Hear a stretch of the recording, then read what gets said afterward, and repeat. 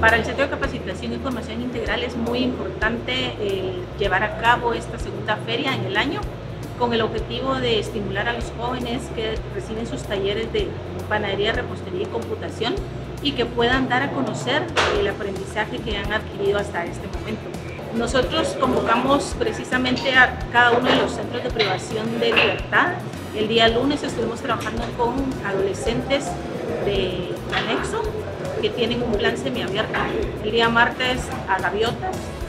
igualmente con un plan semiabierto, miércoles a gorriones, jueves a la casa intermedia y el día de hoy venimos al centro de privación de libertad anexo para trabajar con los jóvenes que no tienen un plan semiabierto un aproximado de 20 adolescentes diarios, estamos hablando de 100 adolescentes a la semana. El interés nuestro es que se conozca el trabajo de los adolescentes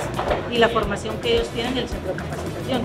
Para ello invitamos a los diferentes jueces de control de difusión, a la PDH, al Ministerio Público, a otras asociaciones que trabajan con los adolescentes también y a cada uno de los directores de los diferentes centros especiales